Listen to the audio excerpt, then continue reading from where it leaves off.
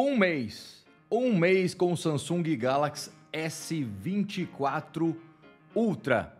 No vídeo de hoje eu vou resenhar. Vamos trocar uma ideia aqui do que tem sido a minha usabilidade, o meu uso aqui do Galaxy S24 Ultra, testando durante um mês. Enfim, vamos trocar uma ideia. Exatamente no dia que foi lançado este cara aqui, lá nos Estados Unidos, no mundo, né? E aqui no Brasil simultaneamente, a gente acompanhou o evento. Eu coloquei as mãos no Galaxy S24 Ultra no mesmo dia. E desde então eu já estava utilizando esse grandalhão, o famoso telha que a galera costuma falar, né? Dá uma olhada no tamanho desse cara aqui, ó. É bonito. Essa cor aqui é o titânio cinza.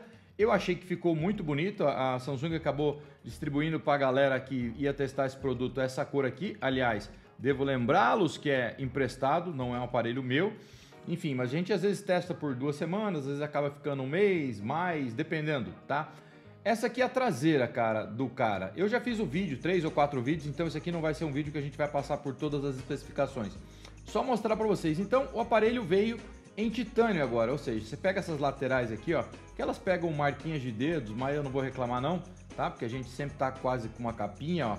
Tá vendo? Ó? Às vezes você olhar bem, ele tem umas marquinhas. Então ele ficou com a construção da caixa em titânio e por isso o nome dos aparelhos começou a levar titânio. Esse titânio aqui, eu vi muita gente, alguns colegas reclamando de pegar marquinha de dedo aqui nessa lateral. Lateral que ela é meio curvada, tá? Não é totalmente reta, ela tem uma ligeira curvatura aqui, ó, para ajudar no conforto das mãos, para quando você vai utilizar, principalmente sem capinha, que não é o caso de mais de 90% da população. Porque você vai pagar caro num produto desse. Aliás, se tiver promoção, for comprar esse cara, primeiro, se inscreve no canal. Não é inscrito? Se inscreve no canal. Tem link na descrição, vou deixar os links do Mercado Livre, da loja oficial da Samsung e vários outros lugares que você pode comprar esse aparelho. Comprando por lá, você acaba ajudando o canal e não vai pagar mais caro por isso. Então é o seguinte, essas beiradinhas aqui pegam sim um pouquinho de marca de dedo e não estão totalmente retas. Elas não são mais curvadas como era antes, mas não são retas e pega uma certa marca de dedo, mas assim, sem reclamar quanto a, a esse lance. O aparelho também, quanto a ser construído em titânio, eu falei nos outros vídeos que eu fiz também. É titânio, mas não trouxe o aparelho mais leve aqui, porque titânio é um material mais duro do que o aço. Mas neste cara aqui, continuou com basicamente as 234 gramas, acho que perdeu um grama, coisa de que não tem. Se fosse 5, nem ia falar também do mesmo jeito. Então não trouxe uma melhora no conforto quanto ao peso. Sim, é um aparelho um grande e que pode trazer um desconforto se você ficar segurando ele por longos períodos. Falando de tela, olha só a tela aqui, pessoal. Ó, essa aqui é uma tela AMOLED, Dynamic AMOLED 2X, 120 Hz, para lá. E ele trouxe um negócio muito legal, que é o, é o que eu achei mais legal, aliás. Ó, é o anti-reflexo. Eu vou acender a tela aqui para vocês. O brilho desse cara aqui também veio muito alto, são 2600 nits. Vou até diminuir um pouco aqui, senão vocês não vão conseguir ver. Deixa eu diminuir aqui, por aqui eu acho que tá bom. Ó, a tela veio uma baita de uma tela, uma tela espetacular. Só que a tela basicamente espetacular eu quero dizer quanto ao reflexo. Vocês estão vendo aqui, ó? Eu tenho uma luz aqui, ó, bem de frente aqui. Eu vou tentar fazer com que reflita. Vocês estão vendo aqui, ó? Tem uma luz de frente, ó. Estão tentando ver um reflexo aí? Tem um reflexo, mas ele foi diminuído em 75%. Só para vocês terem uma ideia, eu vou pegar aqui, ó. Aqui a gente está aqui com o Galaxy S24. Esse aqui é o S24, o pequenininho. Deixa eu ver se ele está com bateria aqui ele está com bateria. Exatamente o mesmo papel de parede. Deixa eu diminuir o brilho aqui também para a gente ter um conforto maior para mostrar para vocês. Ó, olha o tanto de brilho que pega aqui. Olha só. Ó, vocês estão vendo? Ó, ó, eu estou fazendo isso aqui, ó. Tô fazendo esse movimento, certo? Ó, minha luz aparecendo. Agora eu vou fazer o mesmo movimento aqui com o S24 Ultra. Olha isso aqui. Olha isso aqui, você quase não vê o que você via antes. É muito menor o reflexo que tem na linha S24 Ultra. Aliás, esse aqui é o único cara que dessa vez trouxe o Snapdragon 8 Gen 3 for Galaxy, é o S24 Ultra que tem no Brasil. Tem aqueles famosos países, né? Se eu não me engano, Estados Unidos, China, Canadá, tem uns três ou quatro países que tem a versão dos outros aparelhos com Snapdragon também.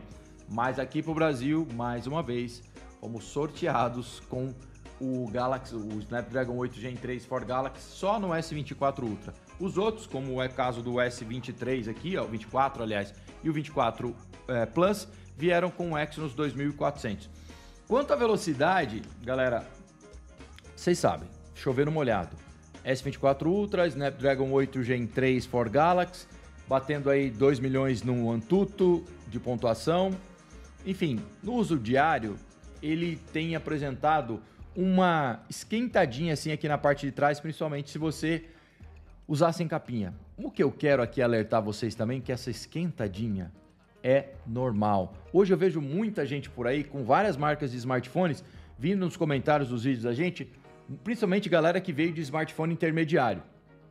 Porque essa galera nunca pegou um smartphone que quando precisa de força, precisa acelerar, ele acelera e toda a máquina potente gera calor certo? Aqui o lance do titânio parece que ele, na minha opinião, que ele passa um pouquinho mais o sentido do calor para as mãos. Não sei se ele tem um poder de dissipação maior ou transfere o calor interno mais para a carcaça. Se você estiver utilizando sem capinha, em situações que está demandando um, um, um, longo uso da tela, ou seja, a tela você está lá naquele scroll frenético das suas redes sociais, com brilho alto, às vezes durante o dia, fora de casa, ele pode esquentar um pouquinho mais do que o normal. E sim, toda, todo aparelho esquentando, se você na sequência ou no momento estiver jogando algum jogo pesado, ele vai ter um thermal throttling sim. Mas o thermal throttling, que é quando todo equipamento eletrônico reduz a capacidade para não danificar as partes dele, você não ter problema com ele. Isso acontece em muitos aparelhos, vários aparelhos eletrônicos com inteligência, com chip para identificar isso, eles diminuem a potência para que o aparelho não continue gerando calor e assim você não tenha o seu aparelho danificado. Mesmo com o Thermal Throttling, que sim, tem na versão Snapdragon também, óbvio que tem menos vers que as versões com Exynos 2400, no outro vídeo falando do S23 24 Ultra a gente fala disso, tem o Thermal Throttling, mas você vai ter a capacidade de rodar qualquer jogo, qualquer jogo mesmo, mesmo que for por longos períodos, com este cara aqui te entregando na maior parte do tempo constância nos seus quadros e a experiência boa. Sim, se você pegar esse cara aqui que não é um smartphone gamer para jogar por muito, muito tempo, quero dizer jogar uma hora, duas horas, ficar jogando, ele sim vai transferir calor para sua traseira. Ele tem aqui uma câmera de vapor que foi melhorada nele, mas ele vai transferir calor para suas mãos até se você tiver com uma capinha, coisa que é normal de smartphones potente. Então aqui não vou fazer esse tipo de reclamação. Vai rodar tudo com os pés nas costas tranquilamente. Esse vídeo aqui é mais para trocar ideia com vocês sobre as coisas que eu gostei demais, que foi a princípio que vocês acabaram de ver, essa tela que reduz bastante o reflexo. Uma dica aqui de amigos que colocaram película. Eu nunca quase coloco película nos meus smartphones. Não gosto de colocar. Acho que tira um pouco da experiência, eu não curto. Mas se você colocar uma película aqui, ela vai trazer ou tirar aquele, aquele reflexo diminuído que você tem aqui, que vocês acabaram de ver, ele tira essa experiência. Você olha assim essa tela, parece que ela é mais opaca até, tá? Mas para mim, eu não tive aquele problema que a galera falou de cores muito menos saturadas, pelo menos acho que eu já gosto de utilizar as cores reais e não ver aquele display super vívido, eu não tive esse problema. A galera que teve problema, a Samsung já tá para soltar uma atualização que você vai poder colocar mais saturação, deixar a tela mais viva, vívida, se você quiser, tá? O que eu gostei foi muito dessa tela anti-reflexo, mas colocando uma película aqui, ela pode trazer reflexo como se fosse uma tela normal. Então, utilizando sem película, que eu estou utilizando quase a maior parte do tempo sem película e sem capinha, e ele já caiu uma vez, incrivelmente, não ficou marca, graças a Deus. Eu gostei muito dessa função. E colocando uma película aqui, você tem dois problemas. Um, você vai tirar a capacidade de antirreflexo. Dois, se você usa muito a canetinha, você pode ter a ponta, a ponteira da sua caneta gastando mais, certo? Vai gastar mais porque não é um material feito como a tela para deslizar a sua escrita, tá? E falando de caneta ainda, a tela aqui, ó, ficou bem mais retinha, o que a galera que gosta de utilizar a caneta gostou demais, tá? Eu não sou o cara que super usa caneta, mas você pode escrever até as bordas aqui agora sem aquela caída aqui pro lado que, que dificultava você tomar conta de escrever, tomar notas ou desenhar até as bordas. Então isso aqui também ficou muito bom, ou seja, ficou melhor, né? Gente, antecipando para vocês aqui, A linha Galaxy é, Ultra, que foi a substituta que tomou conta do lugar da linha Note desde o Note 20, é uma linha que o S22 vai te entregar fotos espetaculares, o 23 fotos espetaculares e vídeos também, e o 24 Ultra também. Tendo pequena diferença, a gente já vai falar, é, de fotos de um aparelho para outro. Isso não é coisa da Samsung, é coisa do mercado. A gente evoluiu para um nível de câmeras há algum tempo que quando você pega um aparelho novo, as empresas lutam para te entregar algo que faça você querer trocar de smartphone. Porque câmeras, se você pegar a Apple também, quando eu analisei os iPhones 11, 12, 13, 14, 15, toda essa linha que também tem vídeos aqui no canal, houve uma evolução pequena do 11 para o 12. Pequeninha, mas muito pequena. Do 12 para o 13 igual, do 13 para o 14 igual. Então, você pegar uma diferença que às vezes vale a pena, você tem que pegar um aparelho de 3 anos de gap aí para falar que, nossa, evoluiu bastante a câmera. Sempre há uma evolução. Ah, o HDR está um pouquinho melhor. Ah, tem isso aqui melhor. Tem funções novas que aparecem nas câmeras.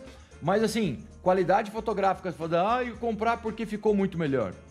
Não ficou. Mas a gente já fala já de foto já já. Enfim, pessoal, o aparelho continua fluido daquele jeitão. A tela tem uma atualização muito rápida de 120 Hz, que vai de 1 a 120, beleza. 12 GB de RAM, Snapdragon 8 Gen 3 for Galaxy, né? 256, 512 ou 1 TB de armazenamento. Armazenamento UFS 4.0, um baita de um dispositivo, transferência ultra rápida, caneta muito boa, áudio estéreo muito bom, Bluetooth 5.3, você tem quase tudo do top de linha, excesso do Bluetooth que tem a versão 5.4, já que não veio para esse cara. Você tem um aparelho com características espetaculares e sim, é o melhor Android que você pode comprar, na minha opinião. Você fala, pô, Rodrigo, a gente tem tanto smartphone aí, tem muitos. Muitos deles não vendem no Brasil. Eu poderia até estender isso para fora do Brasil, mas com absoluta certeza, se você comprar um S24 Ultra, você está comprando o melhor Android possível. Não é o melhor smartphone possível, porque a gente tem aí o iPhone 15 Pro Max, iPhone 15. Você está falando então que o 15 é melhor que esse cara? Algumas coisas, por exemplo, como o vídeo, eu ainda acho que ele tem possibilidades melhores. Não que vá te entregar a qualidade de imagem superior a seu. O, ah, estou vendo aqui que a imagem é superior. Traz mais possibilidades, certo? Porém, aqui também você traz mais possibilidades do que na Apple. Então, eu vou deixar como Android é o melhor Android que você pode comprar.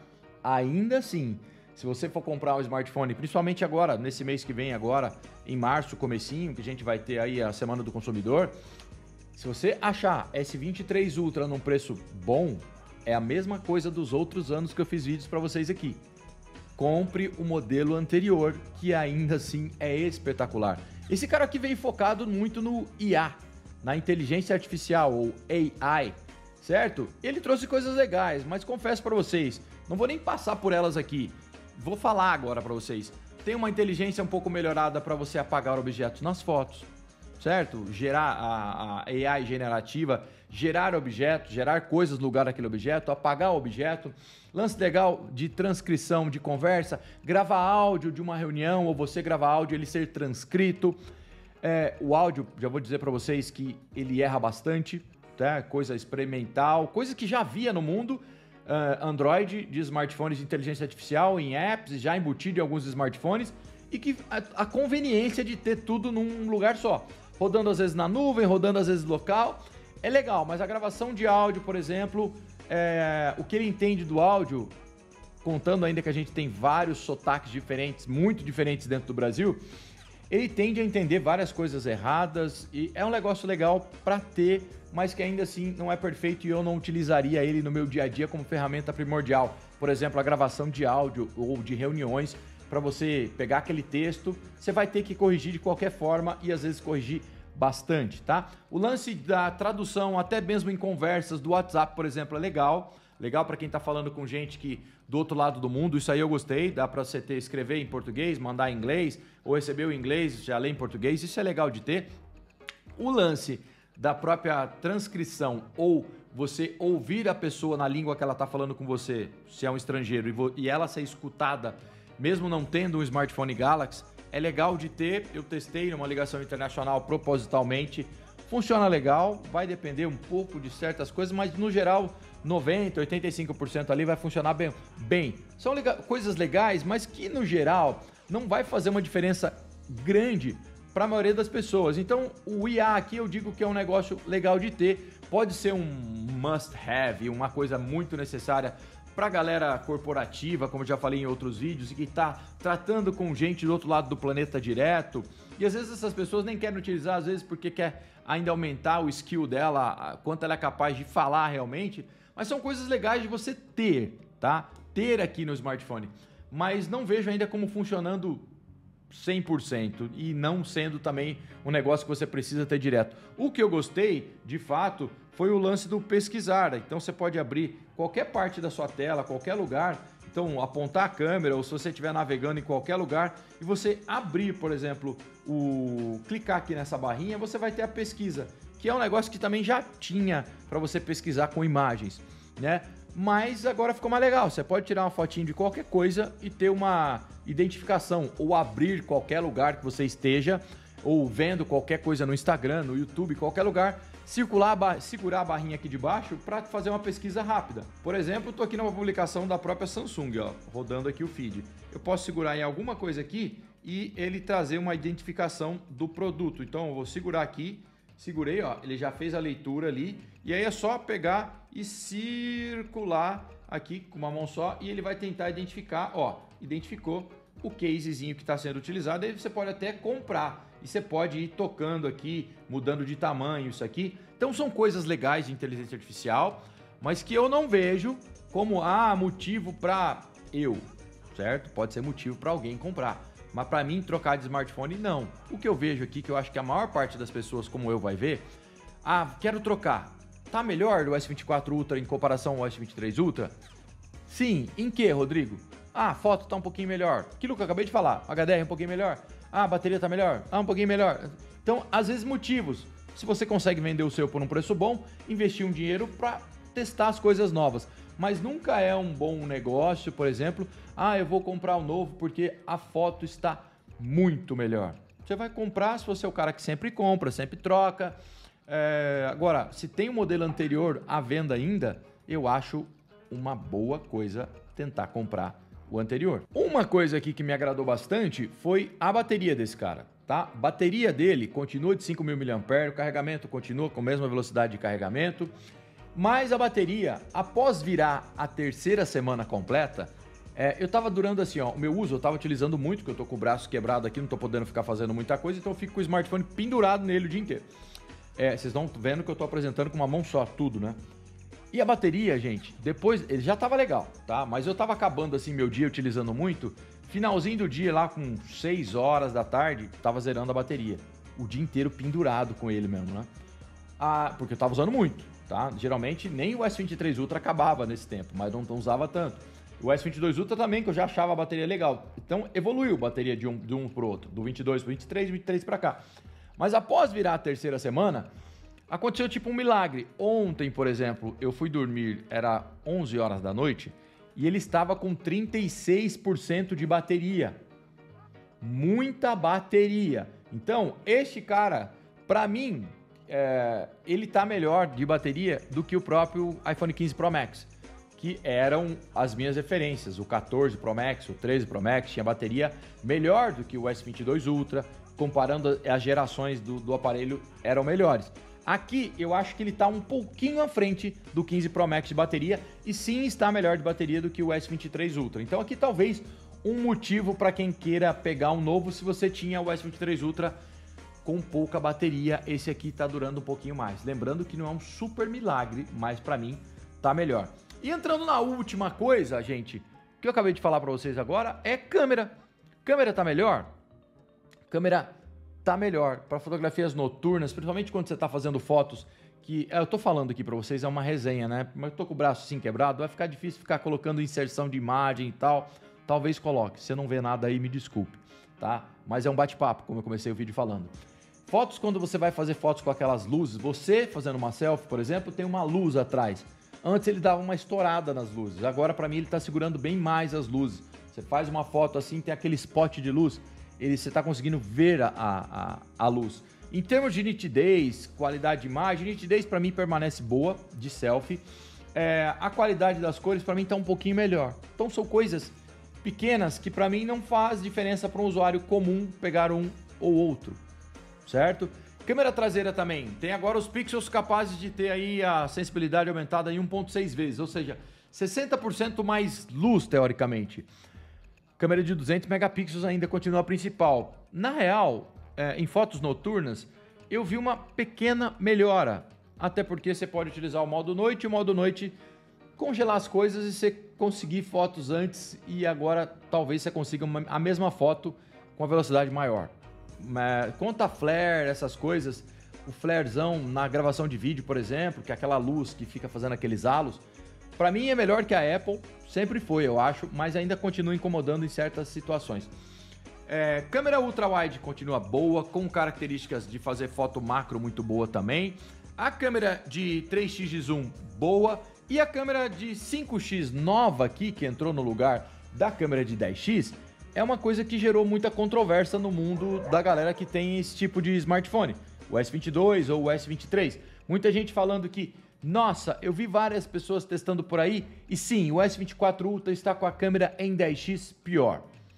Sim, ele tem uma câmera agora aqui de 5x, não é 10x, e eu acho que a Samsung acertadamente trocou essa câmera porque é um range que a galera usa mais. Você está no 1x, você vai para o 2, digital em 200 megapixels, excelente. Você vai para o 3, que já é um zoom ótico, porque é uma lente ótica, e aí você tinha um gapzão do 3 até o 10 para cobrir com um zoom digital. Então, a princípio, para mim já é acertado, porque você não tem aquele gap gigante para cobrir do 3 até o 10 de zoom digital.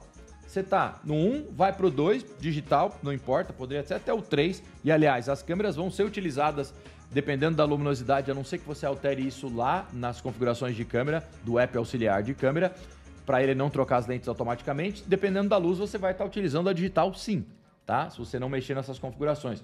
Mas ele tem que cobrir menos área agora. Então ele pula de 1, vai para 2 digital, para 3 não é digital, de 3 ele vai para 5 que não é digital e a câmera com muito mais resolução, 50 megapixels. Se você colocar lado a lado uma foto do S23 Ultra e do S24 Ultra durante o dia, no zoom de 10x, que esse aqui é 5, mas você vai poder fazer um 10 com qualidade, você vai ver que o outro tem uma câmera nativa de 10x que vai entregar, se você der um, o famoso pixel peeping, se você aproximar lá e ficar procurando defeitos, o S23 Ultra tem uma qualidade melhor.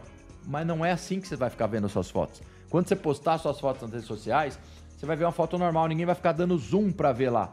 E sim, em luz suficiente, o, a linha anterior vai te entregar a qualidade melhor no zoom de 10x, porque ele tem 10x ótico, tá? Mas na maioria das circunstâncias, você não vai ver diferença de uma para outra, a não ser que você ficar, ficar procurando, ou a galera que tem S23 Ultra e não pensa em trocar, ficar falando sim, é melhor.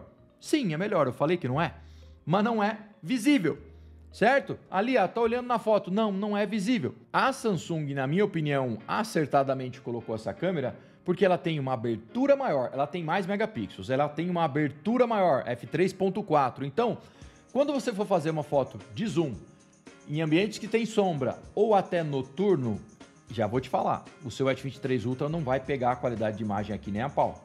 Por quê? Porque você tem uma abertura maior, são, acho que era f4.9, quase um f5 na outra, de 10x e agora f3.4. Então, o 10x digital aqui, em ambientes, ambientes com pouca iluminação ou com iluminação mais baixa, mesmo que não seja de noite, ele vai te entregar foto melhor que o S23 Ultra. E o outro lance que eu acabei de falar, o gap a ser coberto, o espaço a ser coberto de 1x até 10x é muito menor utilizando uma câmera de 5x nesse meio, tá? Então, para mim, a qualidade de foto está sensacional, o que não é uma coisa que você vai falar assim, não, e o 100x?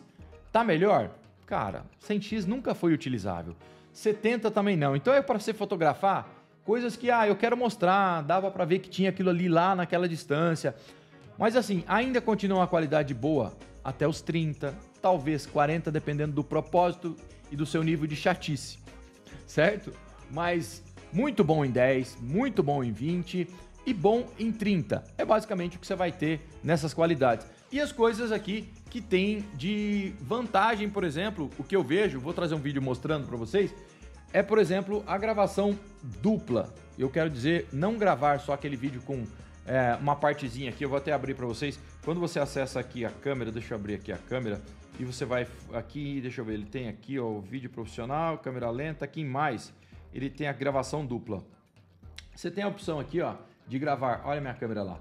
O, duas câmeras, vocês estão vendo a minha câmera aqui, ó, a câmera de cima aqui, e outra câmera aqui. Aqui você tem a opção agora de você poder gravar é, dois arquivos separados, não só gravar desse jeito, ó, uma telinha que você pode mexer para lá e para cá. Você tem a opção de gravar duas câmeras diferentes, ou seja, você adicionar dois ângulos à mesma gravação. Você pode gravar com duas câmeras na parte traseira, a ultra wide e a principal, ou a ultra wide e a de zoom, ou a principal e a de zoom, e depois você salvar esses arquivos separados e na edição do seu vídeo você ter uma possibilidade de mostrar uma coisa que estava distante, mas não sendo captado com uma telinha ali ou ir mudando durante a gravação. Você vai ter dois arquivos gravados ao mesmo tempo e que você pode usar ou não, utilizar ou não na sua edição, tendo aí uma mudança de um foco mais de um plano mais aberto para um plano mais fechado, sem ter aquela transição na hora e podendo gravar em 4K no S24 Ultra. Nos 24 e 24 Plus não dá, é só Full HD, tem a funcionalidade, mas não faz em 4K. Só no Ultra faz o 4K. E as outras coisas que a gente já tinha continuam com excelência. A gravação de vídeos com a câmera com desfoque, que também grava em 4K. A possibilidade de fazer aquele slow motion agora, quando você tá numa cena normal, gravou em 4K 30, enfim, você segura sobre a tela da gravação para ter um slow. Se for para uso profissional, não fica perfeitão, mas se for para uso profissional, você pode usar o 4K 120, que ele tem gravação de 4K 120. Então, pessoal, resumindo essa falação aqui gigante que eu gosto pra caramba, confesso para vocês, Vale a pena trocar de um S23 Ultra para um 24 Ultra para a galera super fã ou a galera profissional de vídeo, por exemplo, que quer mudar de uma coisa para outra. Fotos, gente, ficou com ligeiro HDR melhor, eu acredito. O microfone sim tá com a qualidade melhor de captação, eu vi. Essas coisinhas aí como a gravação dupla salvando arquivos separados, tá legal. É, então pode ser legal para uma pessoa que tenha uso um pouco mais profissional ou que queira pagar para ter tudo de novo e o um, o, o, um pouquinho melhor no novo. De resto, S23 Ultra, se aparecer aí a 5,200, ele tem aí aparecido por 5,600, que é o preço padrão. Eu acho que ele pode aparecer a 5,200, 5,100, é, 5,000. Pegue, pegue porque a qualidade ainda é fantástica, a bateria também já era muito boa. São pequenas as mudanças para as pessoas comuns, eu acredito. Você tem que utilizar muito o dispositivo, usar demais para falar assim, putz, não, tem que ser o 24 Ultra para mim.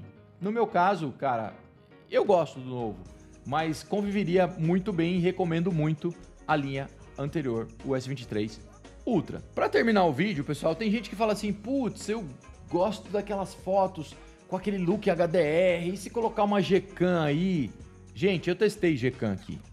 A melhor Gcam que você tem aqui possível chama-se é, aqui ó, Expert RAW. Tanto é que tá no lugar da minha câmera aqui, ó. Deixa eu até habilitar aqui com uma mão só.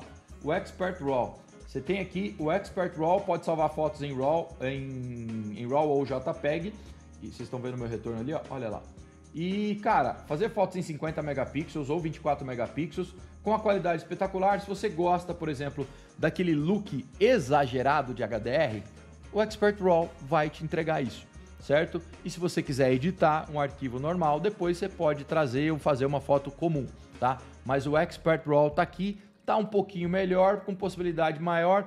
Eu vi que, cara, as cores, por exemplo, de algumas fotos que eu fazia é, você corrige um pouco melhor, algumas áreas que ficavam verde não ficam mais.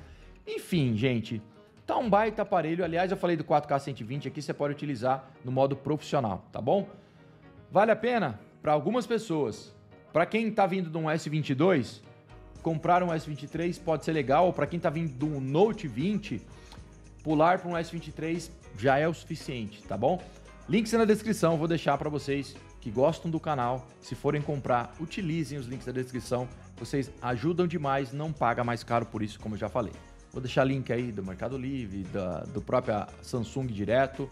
Enfim, baita aparelho, espetacular, com bateria melhor, com fotos ligeiramente melhores, se eu fosse resumir em 15 segundos para vocês. Recomendo, mas enfim, A troca de um 23 Ultra para cá, eu acho que não é recomendável para a maioria das pessoas e para a maioria dos smartphones que são lançados de um ano para outro, não só pela Samsung. Acaba não compensando pelas coisas novas, linha 1 para outra linha. Só para aquela galera que sempre compra. Até o próximo vídeo. Tchau, tchau.